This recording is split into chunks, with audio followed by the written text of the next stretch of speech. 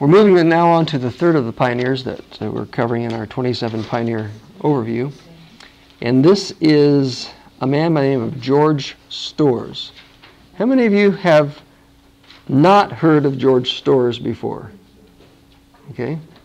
It's a fairly uncommon name in Adventist history, even though you'll find as we finish going through this short outline on his life that his contribution uh, was very significant in terms of his own personal walk in Bible study and what it led to in terms of our understanding in one of the Bible concepts that is clearly identified as one of the landmarks.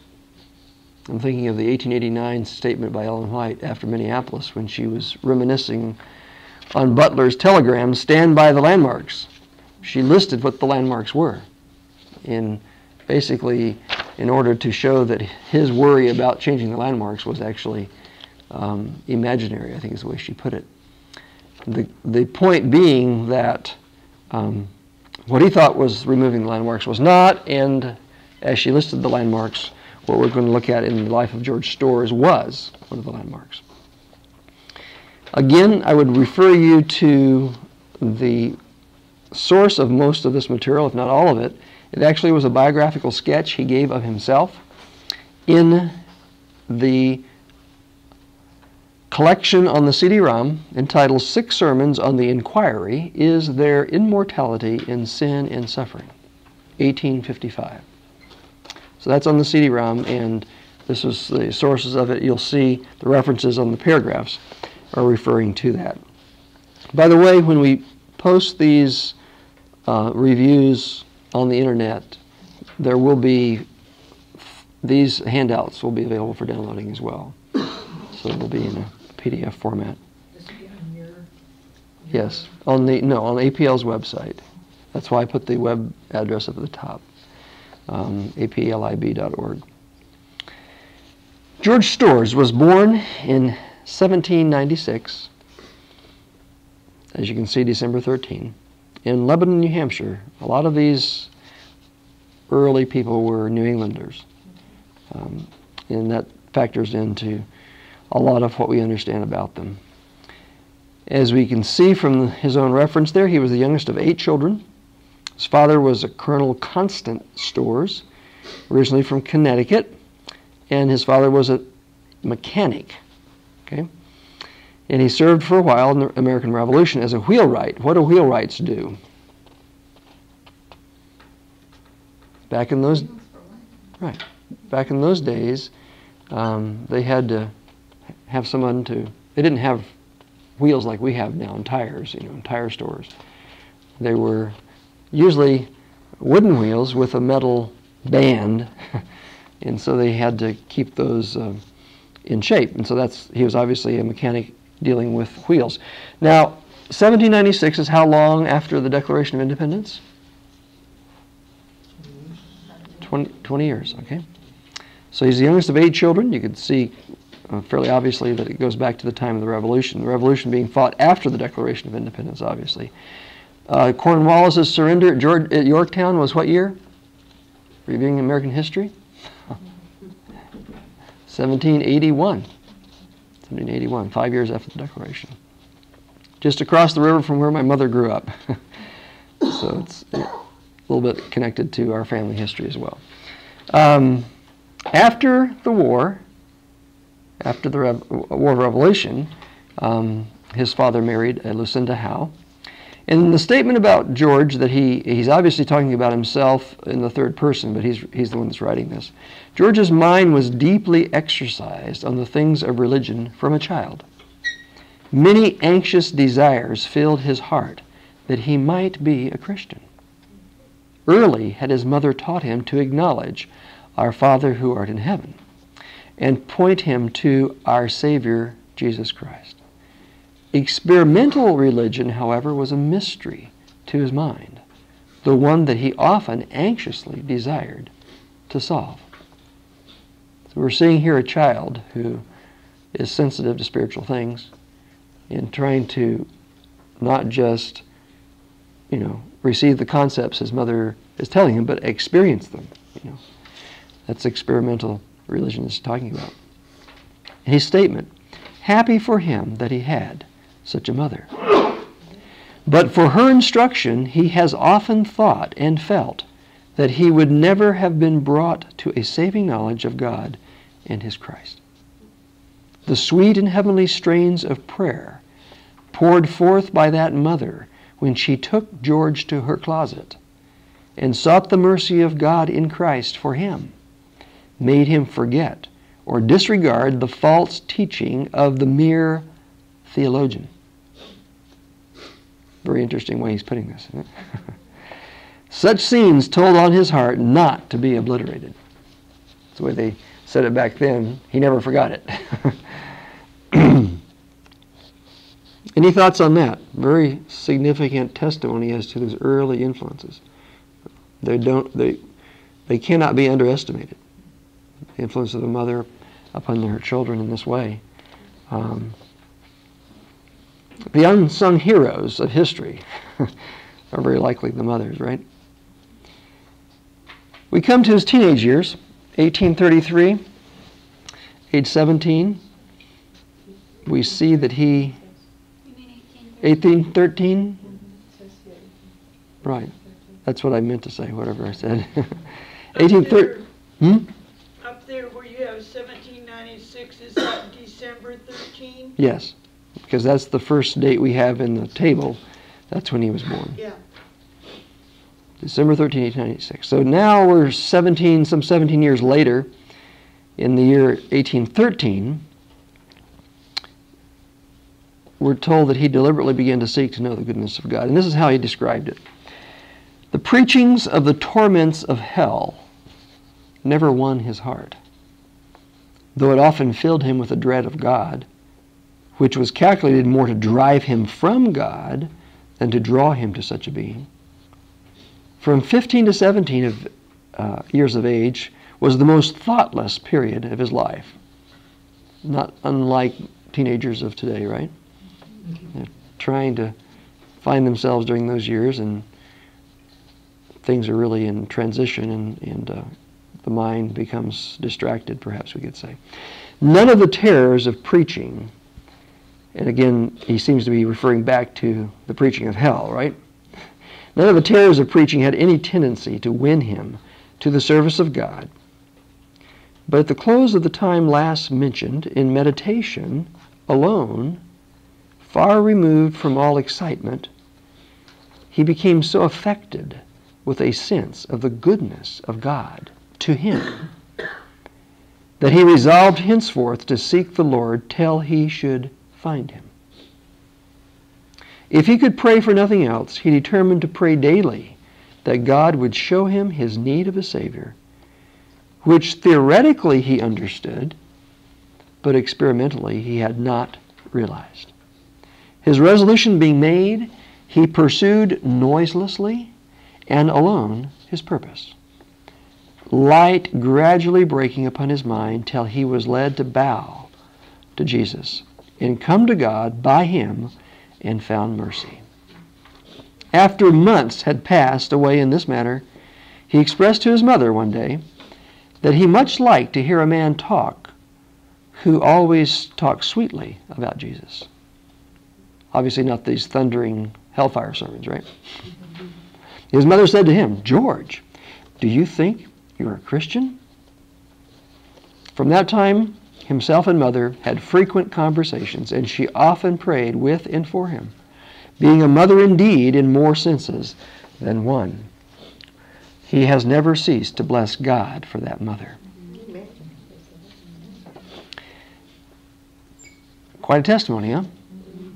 Mm-hmm.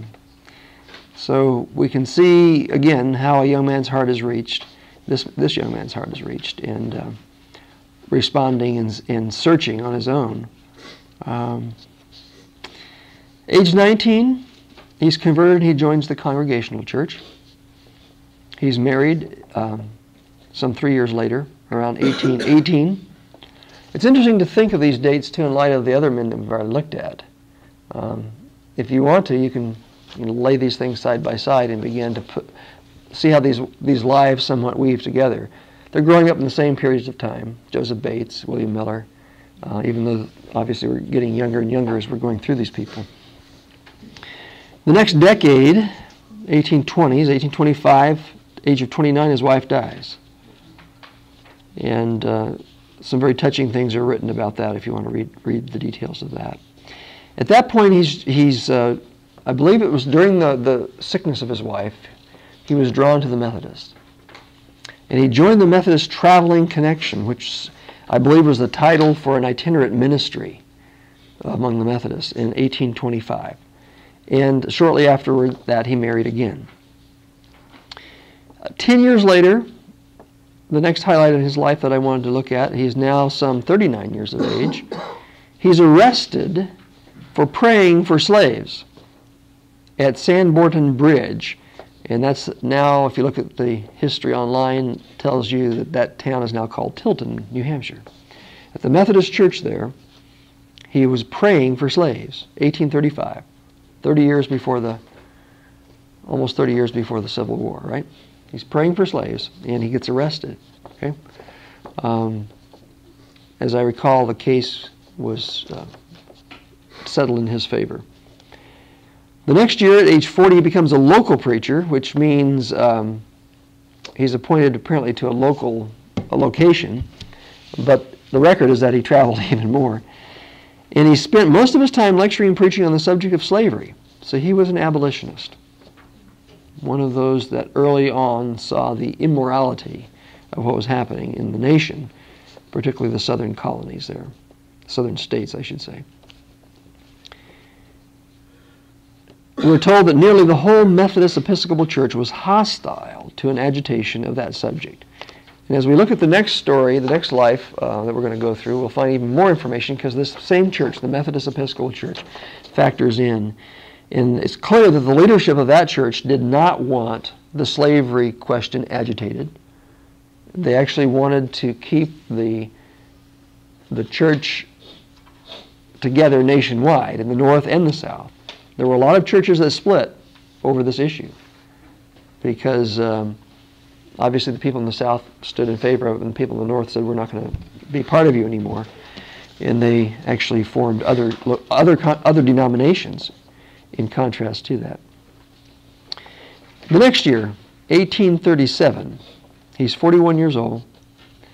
And by the way, on these ages, um, we're just looking at the year of birth to this year. Um, we're not specifying where he is in relation to his birth, birth date that year, right? So he could be in his 30, 41st year or after his 41st birthday, sometime that year, 1837.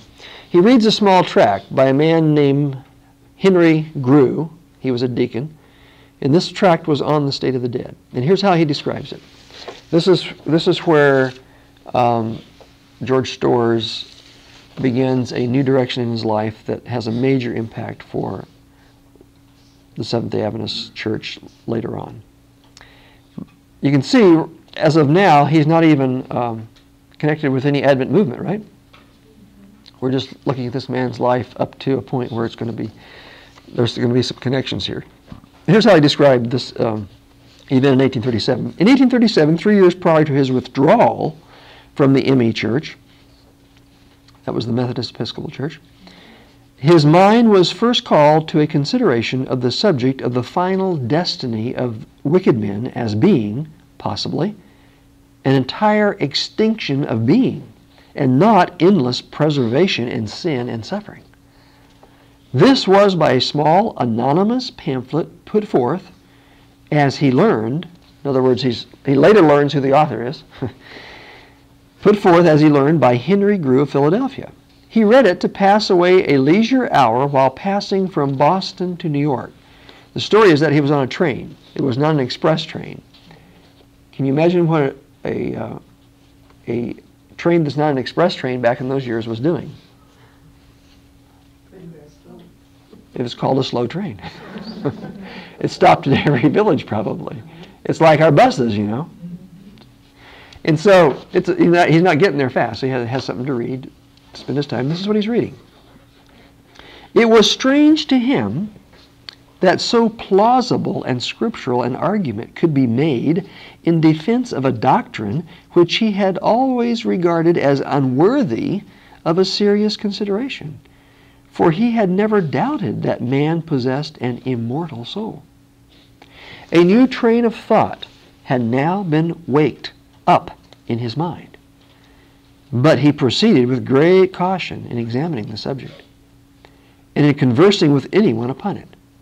These were cautious people, okay? and not easily swayed by every wind, as you might want to say, as it says in Ephesians. He searched the scriptures carefully and sought every opportunity to get information from ministers in particular. As the inquiry continued, the strongest arguments urged against this, to him, new view, served to carry his mind into the conviction of its truthfulness and scriptural basis.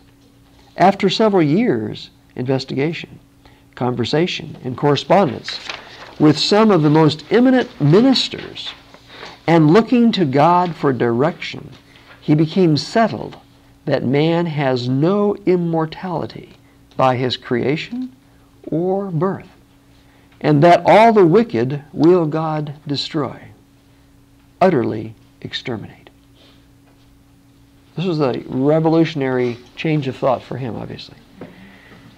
Um, we might look back and say, yeah, it's obvious, but it, not in his day, and it was a very minority view of how mankind's nature exists. Created with an immortal soul or not created with immortality. Yes? Martha. The question is about Martin Luther, whether he understood the non-immortality of the soul. I believe there was some understanding on his part, as I recall. Yeah. So it was it was there in the Re- in the Reformation. Yeah, there were elements elements elements of it in the Reformation, uh, but it was definitely a minority view, and you, it still remains one, even though there's a, a resurgence in interest in the last uh, several decades. Interestingly enough, he leaves the Methodist Church in 1840, the age of 44, and um, very likely seems to be related to his movement in understanding more of Scripture. The spring of 41, at the age of 45, he publishes 2,000 copies of an inquiry Are the souls of the wicked immortal? in three letters. Now, the background for that is what he wrote here.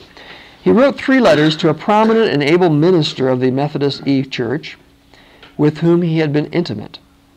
So, as he said, he corresponded, he studied, and this was one of the gentlemen that he worked, uh, worked it through with. In reply, this minister acknowledged that he could not answer Mr. Storr's arguments, and he never undertook it.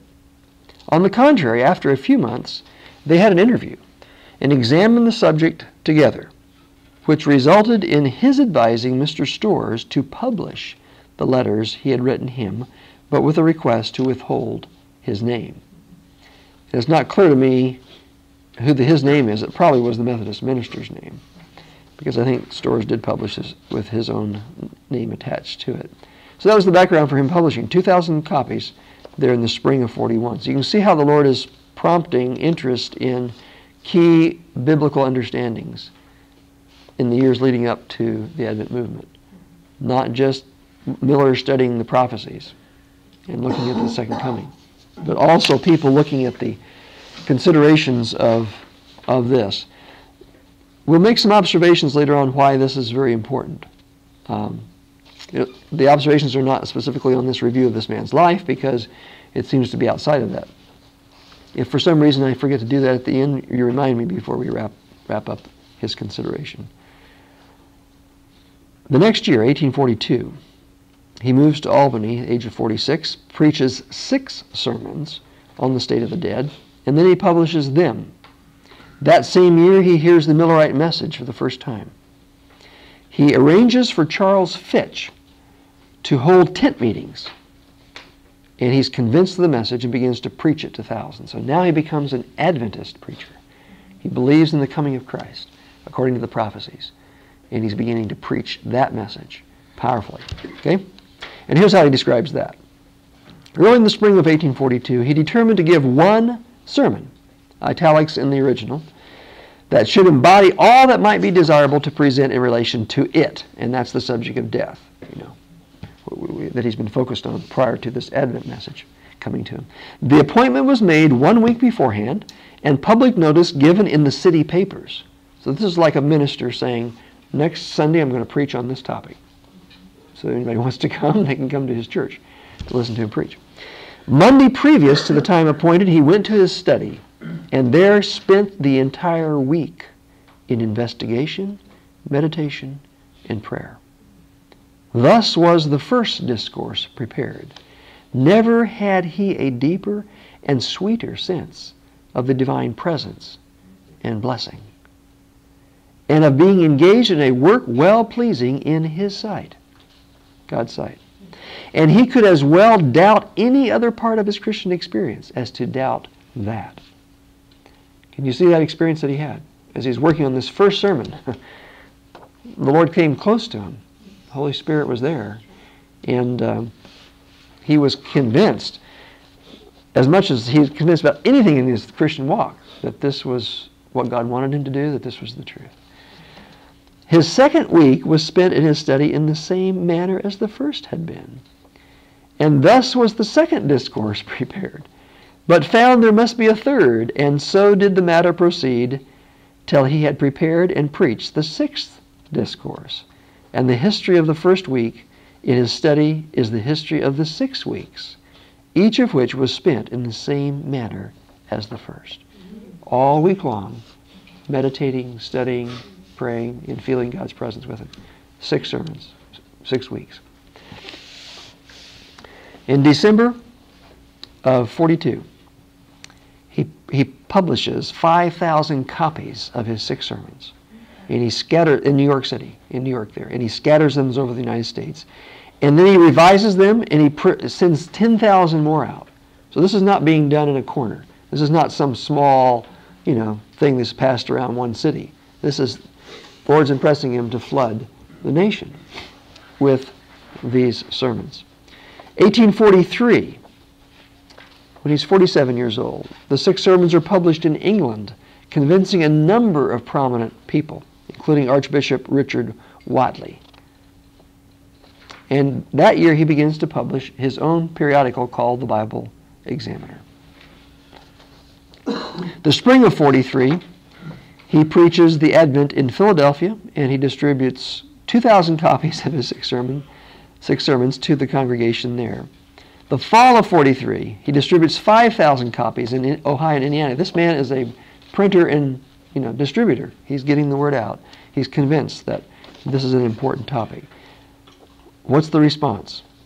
Well, here's, here's a very amazing response. January of 44, January 25, when he's 48, Charles Fitch, takes his stand with him on the state of the dead. And here's what Fitch wrote Dear Brother Storrs, as you have long been fighting the Lord's battles alone on the subject of the state of the dead and of the final doom of the wicked, I write this to say that I am at last, after much thought and prayer, and a full conviction of my duty to God, prepared to take my stand by your side.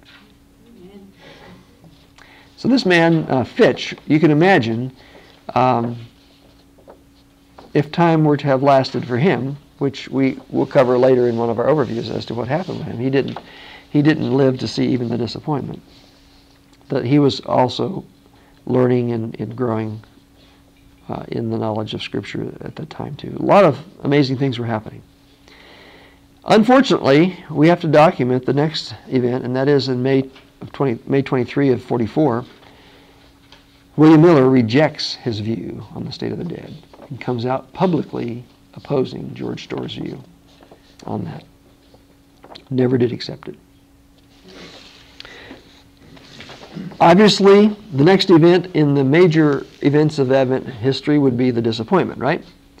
October of 44, the month that Fitch dies, the month, uh, and the month that the disappointment takes place. November of that year, the month after the disappointment, he begins to work in Philadelphia, and he works there through 1852, April of 1852. And he describes that um, in, this, in these words It may be proper in this place to say that he labored statedly in the city of Philadelphia from November of 44 to April of 52, employing nearly all his time among that people, but never seeking for or consenting to an organization such as all sects labor to establish. He had no desire to create his own following. He believed that love was the bond of union, and that when that could not bind a people together, they had better separate. For the last two or three years of his residence in Philadelphia, he was called more to visit different places of the country, and finally concluded to remove to New York as a more central position for visiting abroad. So he still had his burden to minister to people to carry the message about um, the truth of the state of man. In 1849, he says uh, this description of him was given. He was at 53 at the time. It's a rather lengthy description. I've only given you just a portion of it here. Speaking of George Storrs, his object is truth, and this he strives to obtain, no matter at what sacrifice. He consults duty before expediency, and would sooner stand alone with truth than go with the multitude and be in error. Yet he is not dogmatical in the advocacy of what he conceives to be the truth, but is rather persuasive, conciliatory, and argumentative. Probably not in the negative sense that we think of argumentative now, but you know, he, he has arguments for his case. He is a warm friend, a good companion, and an excellent counselor. Unfortunately, we don't know why um, he did not accept the light of the third angel which after the disappointment helped them to understand what had actually happened October there of 44 in fulfillment of the prophecies of Daniel 8:14. Uh, he moved in 52 to New York, as he mentioned. 55, the plates for that publication that he had done on six sermons burned. So he revised and enlarged and republished it, and the one that we referenced at the very beginning, if you'll notice, was dated 1855. So what I've been what I've been extracting here for you in these extracts about him was the 1855 version of those six sermons, and they are all on the CD-ROM if you want to read through them. Those six sermons are published there and available. He lived another some 24 years, and he died in his 80s in 1879. That's George Storrs. Now you know who George Storrs was. And you can imagine that the knowledge that he shared through these publications impacted more than Charles Fitch among the Advent believers because he obviously worked among them extensively. Why would you think this view or this understanding is important? Just tell me why you think it's important to understand what happens to someone when they die, what happens to someone at the end when God punishes the wicked. Um, what reasons can you think of for that being important? Yes. I, I think one during, you know, this, um, this, this experiment with sin, God has, in a sense, had to sustain sin. I mean, Mhm. because God is the life giver and we owe our life to Him.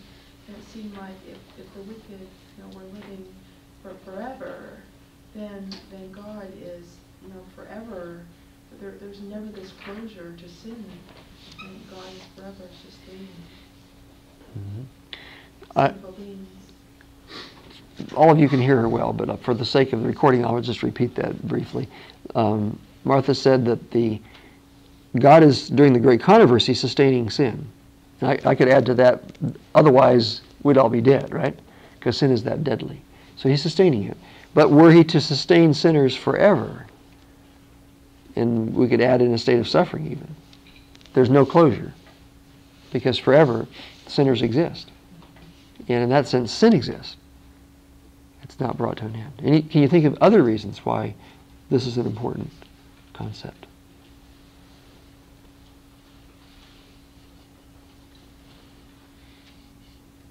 Where do we have first the first inklings of confusion over this issue? In, in Eden, did you say? Mm-hmm. What, what, what happened there? What was the confusion there? They bought his life. Okay, they, they being Adam and Eve, bought Satan's lie. Okay, that you shall not surely die. Um, that sometimes is called the first lie. I believe, in a, in, a, in a sense, it's actually a denial of the consequence of the first lie.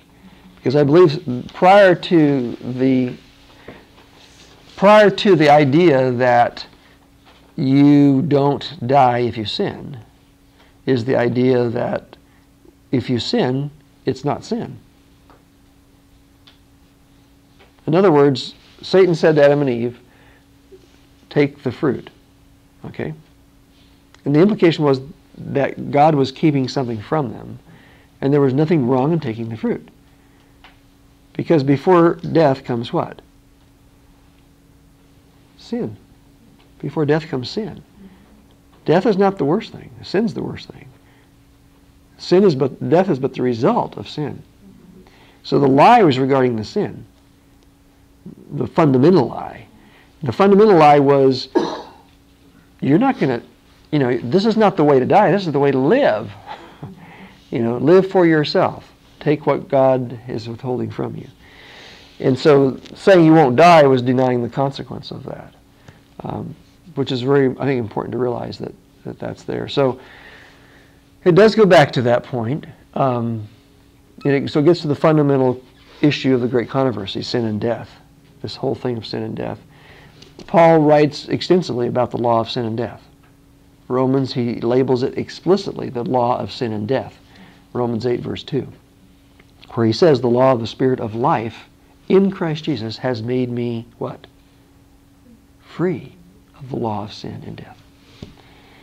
And powerful passage there in Romans 7, Romans 8 on showing how God has victory over sin and victory over death and uh, that's that's the that's salvation.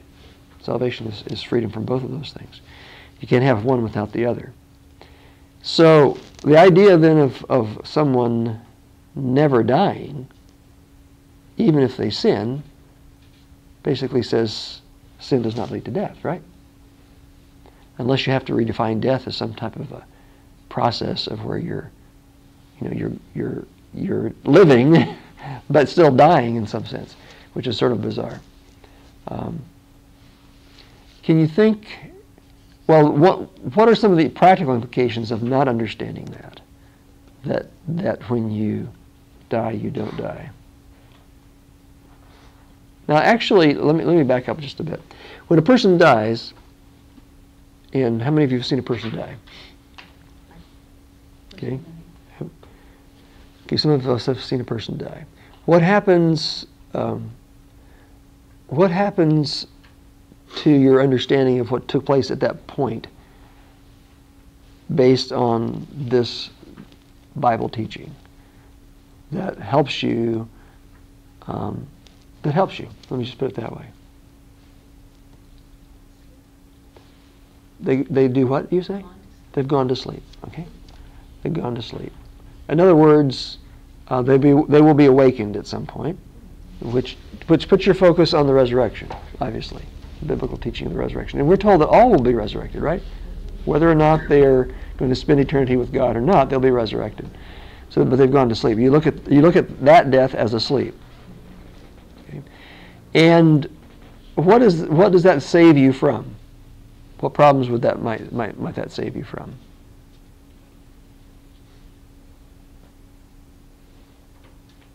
Saves you from believing in eternal torment. Okay. Well, eternal torment's going to come after the, the resurrection, the resurrection that follows the sleep. But what my point is right now, my focus is right now, knowing that that person is asleep when they die, they're not going to heaven immediately. Okay. You're not confused as to thinking that they're in heaven. What, what also might you be protected against? Spiritualism, which there are instances where people encounter those who have died, supposedly, which is basically the whole area of spiritualism. How common is that these days? It's, it's, it's extensively common. It's, it's more, much, much more common than it ever used to be. Uh, the media is full of it, it seems to be. Um, You know, I'm, I'm amazed that we don't have politicians holding seances in order to find out what to do. Maybe they are, they, just, they don't publicize it. Um, but basically, it opens you up to that whole realm of looking to the dead for guidance. Is that right? Because people often, you know, let me talk to my dead mother because I need to get her advice on something, you know, or you know, it goes clear back to the witch of Endor with Saul and, and Samuel, that story there in the Bible. So it saves you from that the danger of being deceived by the spirits uh, who masquerade as dead people. Um, can you think of any other reasons why this doctrine is important? I submit that the most important reason we haven't touched on. Yes, Martha? Well, you, know that, you know, your, your deceased loved ones aren't looking down and seeing, seeing the, this, the sin the woe that continues to go on in the, Okay. families and. Okay. And that makes you feel that they're not having to endure the sight of pain and suffering. And that's, that's, that's useful for individual, individually thinking about your relatives that are passed away. Um, it doesn't, it doesn't answer, I think, any significant great controversy question because we know God and the angels are watching everything and enduring that. And we do know there's human beings in heaven that are looking down, watching, and enduring. So uh, we're just happy our relatives aren't, aren't having to endure that. But there are, there are those that are doing that. And they've been resurrected, though, or translated without seeing death, right? There's clear evidence that there's human beings in heaven that are there because of the resurrection and translation, those two biblical teachings. Can you think of any more uh, reasons why it's important? Maybe profoundly insignificant reasons. Yes. If people go straight to heaven, then where is the need for coming? Okay.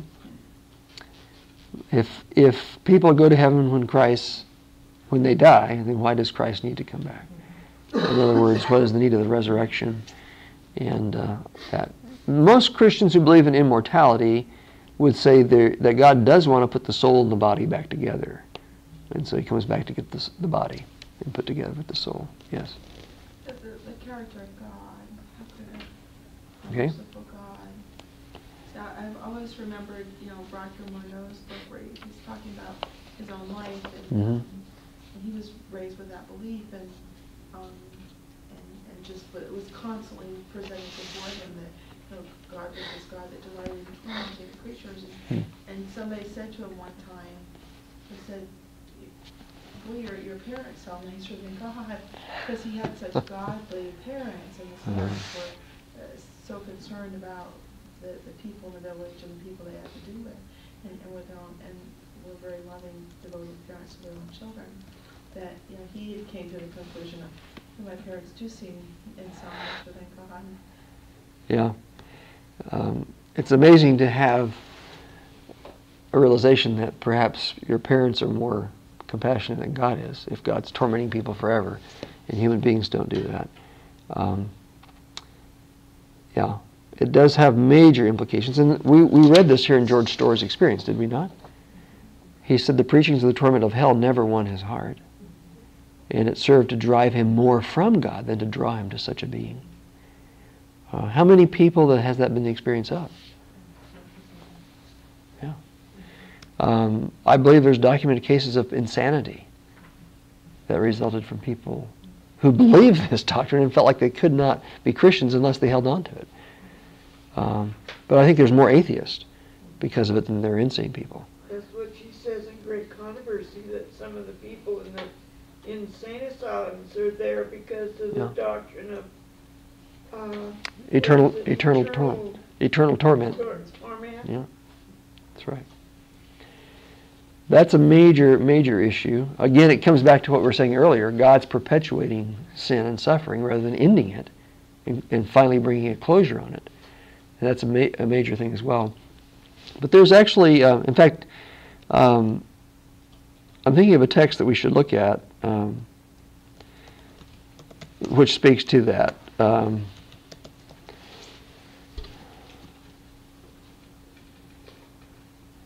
there's two texts actually from Ezekiel, Ezekiel 18:32 and Ezekiel 33:11.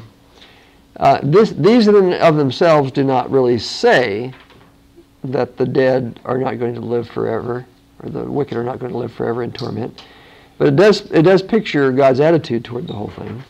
Um, Ezekiel 18:32, I have no pleasure in the death of him that dieth, saith the Lord. Wherefore turn you, you turn yourselves and live ye.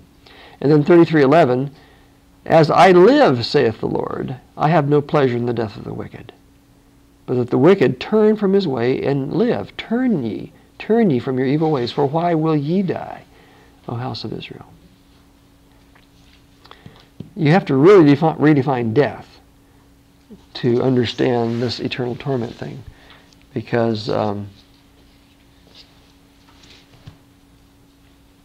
I don't know why, I mean, it's, it's like God's, if, if you believe it, and you believe this text, you're saying God's letting something go on for eternity that he has no pleasure in. And like, you know, what is, how, how is that going to be uh, an eternity of, of peace and, and bliss? Doesn't make any sense whatsoever. But there's still an even more fundamental thing, which I believe, not that I'm saying that, that the question about God's character is not fundamental, but in the plan of salvation, in the process of the plan of salvation, it's vitally important to understand this because of the implications for the, for the central event in the plan of salvation. What was the central event? The cross of Christ. Okay? And again, what happened on the cross? What happened to Christ? What? He died. I think it was what I heard someone say, barely. And then you said he died the second death. So the Bible differentiates between two types of death. Okay? And the first death we've already talked about, that those of us ha- that have seen people die have observed. And we call that type of death sleep. Jesus called it that over and over again. You know, the maid is sleeping. I go to wake, wake her up regarding this little girl that had died. And my friend Lazarus sleeps, you know, all these stories. But the other death, that's called the second death, how's it not asleep?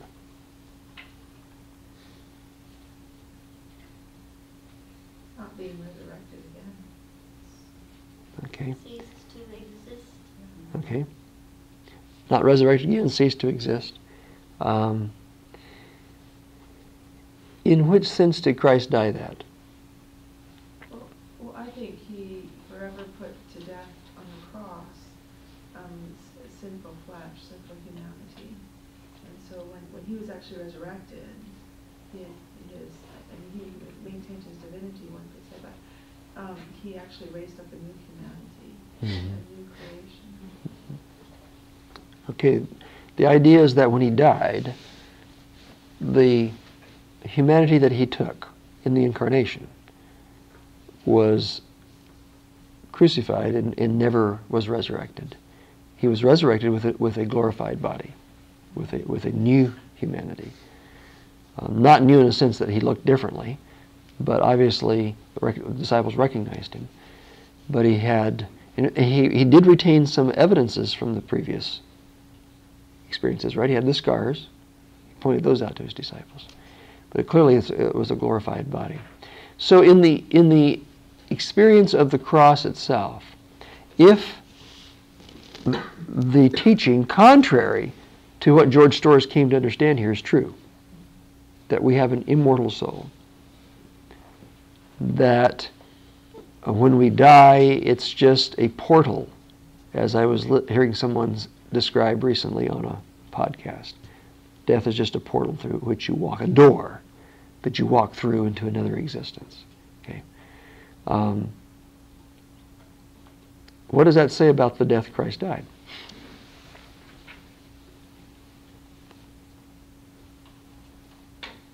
It was not clearly the second death, then, right? What, in what sense was it that he died the second death? We said, we said it was a sense in which he did not resurrect the sinful, fallen flesh that he had taken, But there's another sense in which he died the second death too. When he went into that experience,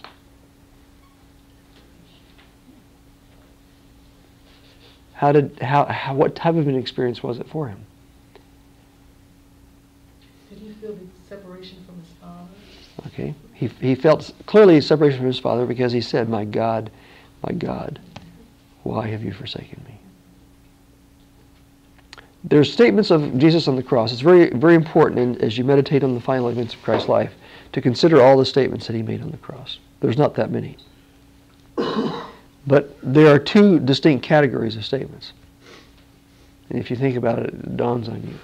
One category of statements are negative, one, are po- one is positive. Have you ever had a, an experience where you have mixed emotions? Okay. Um, someone I heard commenting on the scripture and saying how um, how difficult it was for them to really accept the, the Bible as it's written because all of these contradictions. Um, and the stories of the gospel writers don't agree with each other and you know it's it's again the idea that they, they can't put things together in a meaningful whole um, we're told that as he entered that experience let me ask it as a question first of all uh, do you think as he entered that experience it says in john 13 remember when he um, was with his disciples right there at the end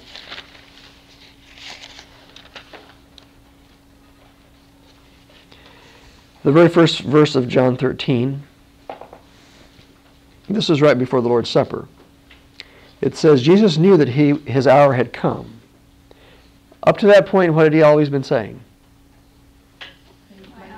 My hour has not yet come. And he said it, he said it in answer to many different types of situations.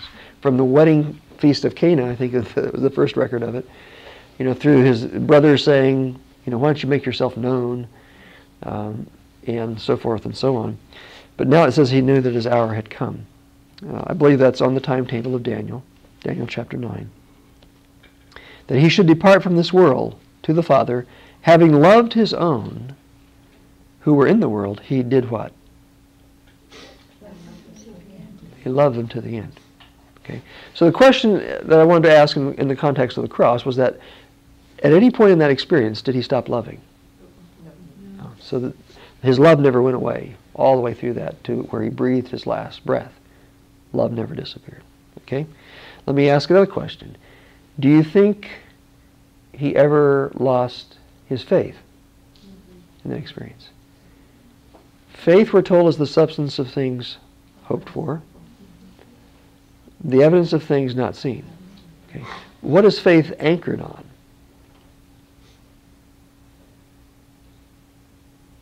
What is faith anchored on?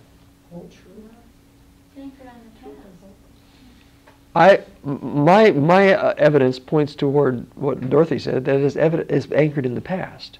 It's it's it's be- uh, this is the way Romans 10 puts it. Faith comes by Hearing. In hearing by what? word of. Word of God. Okay? Had Christ heard the word of God?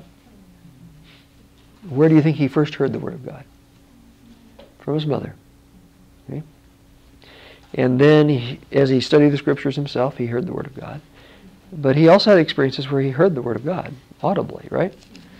And it was very important what he heard in those instances. What, what, what, what was the statement? It was always somewhat the same.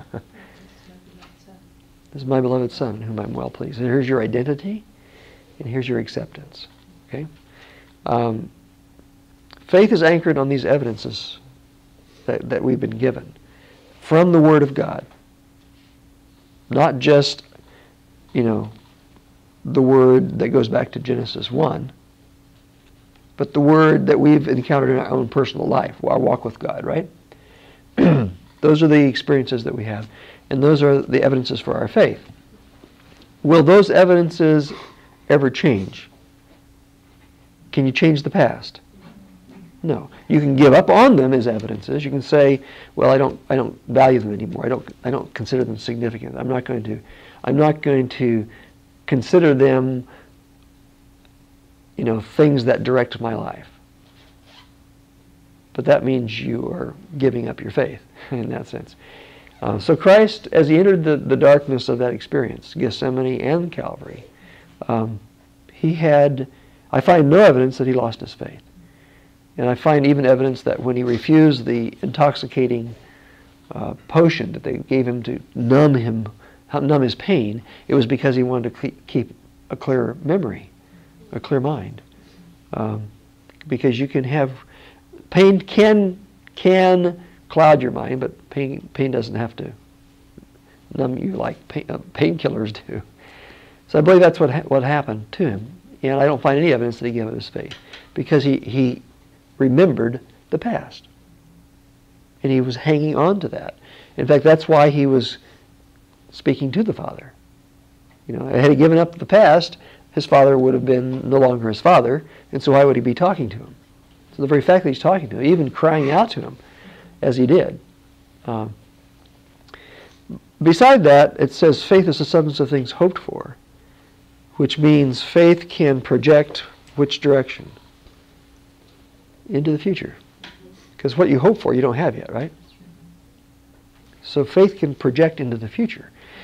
Um, and this is something I don't fully understand because the statement to the thief, I believe, was a statement of faith. You will be with me in paradise. It was a statement of faith. Based on what he knew about paradise, based on what he had understood about when that happens and what, you know, what the future holds. Again, by the Word of God, right? By the Word of God. But there's this thing called hope that actually, it seems to me, is a, an experiential thing at the time where you're able to see a future that's better than the present. That's separate from faith. And I don't understand fully how this can be, but the evidence is clear if you look at it that these, are, these can be separated. Because in his experience, that's what happened. Because we're told, as he entered the Calvary and the cross, he lost all hope. Okay, and I believe that that's the essence of entering the second death. For him, it was entering an experience where he had no hope of being resurrected. So I believe it's more accurate to say that that's the type of death he died, a death with no hope of a resurrection we know that he was predicting his resurrection based again on the word of God. He had told them, I'm going to die in three days I'll be raised. This was before he got into it, right? The only thing like that on the cross, in the cross experience, was, a statement to the thief. you'll be with me in paradise. Which means he's, he must have, has planning to be resurrected. But again, if he had no hope in his death, which is the death of the wicked, and he's dying the death not because of any of his sins, right? So he's not wicked in that sense. But he's dying because of sin, right? Whose sin? The sins of the whole world. All of our sins. And so that the death of sin is the death of the wicked. And Proverbs plainly says that the wicked have no hope in their death. Did you know that? Let me let me get you the text on that, um, because that's a very important uh, realization. Proverbs fourteen thirty two: The wicked is driven away in his wickedness, but the righteous hath hope in his death. So if Christ is dying the death, not of the righteous, but the wicked. Proverbs fourteen thirty two.